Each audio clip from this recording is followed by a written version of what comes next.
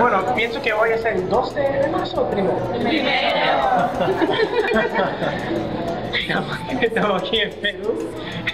Quería agradecer a, a Noni Paz por a- arreglar esta cosa que- para que yo pueda pasar el tiempo con mis fans de Perú.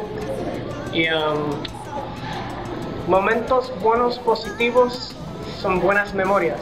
Hay que tratar de vivirlo y disfrutarlos. De disfrutarlos, eso es lo más importante. El camino es largo, pero cada momento pequeño es importante. Uno, esto es uno de esos. So, thank you. Viva Perú, mi gente bella.